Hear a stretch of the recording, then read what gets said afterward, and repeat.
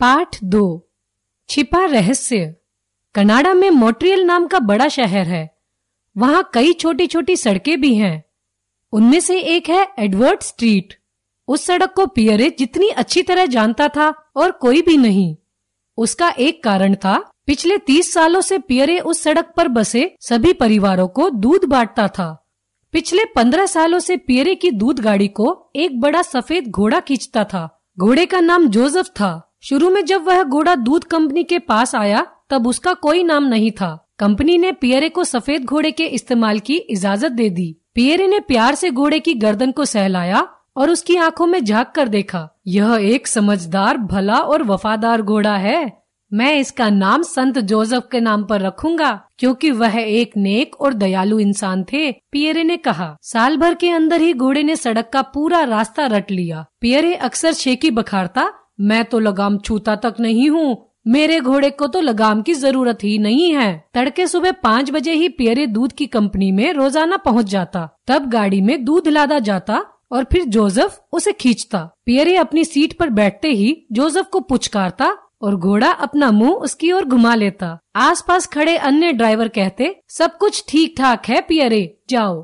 इसके बाद पियरे और जोसेफ इत्मीनान के साथ सड़क पर निकल पड़ते। पियरे के इशारे के बिना ही गाड़ी अपने आप एडवर्ड स्ट्रीट पहुँच जाती। फिर घोड़ा पहले घर पर रुकता और पियरे को नीचे उतारकर दरवाजे के सामने एक बोतल दूध रखने के लिए करीब तीस सेकंड की मोहलत देता। घोड़ा फिर दूसरे घर पर रुकता। इस तरह पियरे और घोड़ा पूरी एडवर्ड स्ट्रीट की लंबाई पार करते। फिर गाड़ी को घुमाकर दोनों वापस आते। सचमुच, जोसेफ बहुत होशियार घोड़ा था। अस्तबल में पियरे जोसेफ की तारीफ़ करते न थकता। मैं कभी उसकी लगाम छूता तक नहीं हूँ। कहाँ कहाँ रुकना है, यह उसे अच्छी तरह मालूम है। अगर जोसेफ घोड़ा गाड़ी खींच रहा है तो मेरी जगह अगर कोई अंधा आदमी भी हो तो काम चल जाएगा।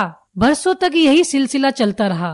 पियरे और जोसेफ धीरे धीरे बूढ़े होने लगे। पियरे की मूछे अब पक कर सफ़ेद हो गई थी। जोसेफ भी अब अपने घुटनों को उतना ऊँचा नहीं उठा पाता था। अस्तबल के सुपरवाइजर जैक को उनके बुढ़ापे का पता तब चला जब एक दिन पियरे लाठी के सहारे चलता हुआ आया। क्या बात है पियरे? जैक ने हंसकर पूछा, क्या तुम्हारी टांगों में दर्द है? हाँ जैक, पियरे ने जवाब दिया, मैं अब बूढ़ा हो रहा हूँ और पैर भी दर्द करने लगे हैं। बस तुम अपने घोड़े को दरवाजे पर दूध की बोतलें रखना सिखा दो, जैक ने कहा। बाकी सारा काम तो वह करता ही है। एडवर्ड स्ट्रीट पर बसे सभी चालीस परिवारों को पियरे अच्छी तरह जानता था। घर के नौकरों को मालूम था कि पियरे लिख पढ़ नहीं सकता, इसलिए वह उसके लिए कोई चिट्ठी नहीं छोड़ते थे। अगर कभी दूध की और बोतलों की ज़रूरत होती तो वे घोड़ा गाड़ी की आवाज़ सुनकर दूर से ही चिल्लाते, पियरे, आज एक और बोतल देना। पियरे की याददाश्त बहुत अच्छी थी। वापस अस्तबल पहुंचकर बिना गलती किए वह जैक को दूध का सारा हिसाब बता देता। जैक अपनी डायरी में तुरंत हिसाब नोट कर लेता था। एक दिन दूध कंपनी का मैनेजर सुबह सुबह अस्तबल का मुआयना करने पहुँचा। जैक ने पियरे की ओर इशारा करते हुए मैनेजर से कहा, जरा देखिए तो पियरे किस तरह अपने घोड़े से बात करता है और घोड़ा भी कितने प्यार से अपना मुँह घुमाकर पियरे की बात सुनता है। पियरे और घोड़े में बड़ी गहरी दोस्ती है।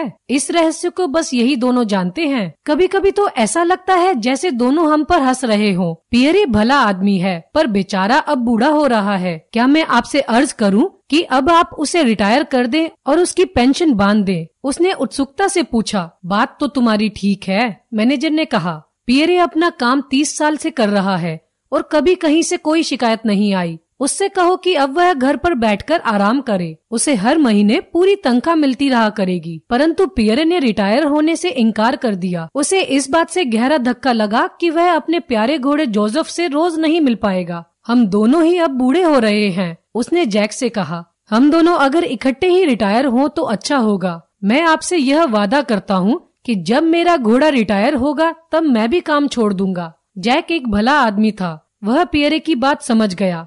पियरे और जोसेफ के बीच रिश्ता ही कुछ ऐसा था जिसे देख दुनिया मुस्कुराने लगे। ऐसा लगता था मानो दोनों एक दूसरे का सहारा हो। जब पियरे गाड़ी की सीट पर बैठा हो और जोसेफ गाड़ी खींच रहा हो तब दोनों में से कोई भी बूढ़ा नहीं लगता था। लेकिन काम खत्म होने के बाद पियरे लंगड़ाते हुए सड़क पर इस तरह धीरे धीरे चलता, जैसे वह बहुत बूढ़ा आदमी हो। उधर घोड़े का भी मुँह लटक जाता, वह हारा थका सा अस्तबल में वापस आता। सुबह सुबह एक दिन जब पियरे आया तो जैक ने उसे एक बेहद बुरी खबर सुनाई। पियरे, आज सुबह जोसेफ सोकर ही नहीं उठा। वह बहुत बूढ़ा हो गया था। 25 साल की उम्र में घोड़े की वैसे ही हालत हो जाती है। जैसी पैंसठ साल के बूढ़े आदमी की होती है। हाँ पियरे ने धीरे से कहा, अब जोसेफ को कभी नहीं देख पाऊँगा। नहीं, तुम उसे देख सकते हो। जैक ने दिलासा देते हुए कहा, वह अभी अस्तबल में है और उसके चेहरे पर बड़ी शांति है। तुम जाकर उसे देख तो लो। पियरे घर लौटने के लिए वापस मुड़ा। तुम समझोगे नहीं, जैक। जैक ने उसका कंधा थपथपाया। फ़िक्र न करो। हम तुम्हारे लिए जोसेफ जैसा ही एक और घोड़ा ढूंढ देंगे और महीने भर में तुम जोसेफ की तरह उसे भी पूरा रास्ता सिखा देना। है ना?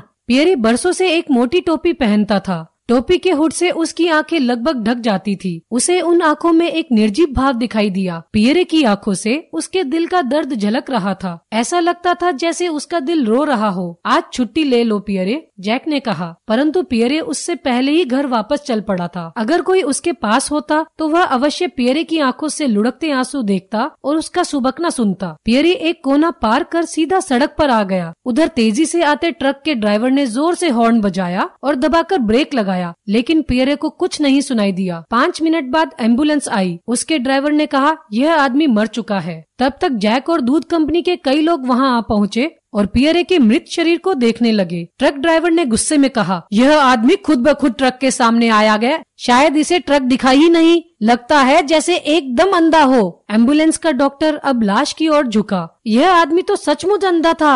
जरा इसकी आँखों का मोतियाबिंद तो देखो। यह कम से कम पाँच साल से अंधा होगा। फिर उसने जैक की तरफ़ मुड़कर कहा, तुम कहते हो कि यह आदमी तुम्हारे लिए काम करता था? तुम्हें नहीं मालूम कि यह अंधा था? नहीं नहीं, जैक ने धीरे से कहा, यह रहस्य हम में से किसी को नहीं पता था। सिर्फ़ उसके दोस्त जोसेफ को पता था। यह उन दोनों के बीच की आपसी बात थी। सिर्फ़ उन दोनों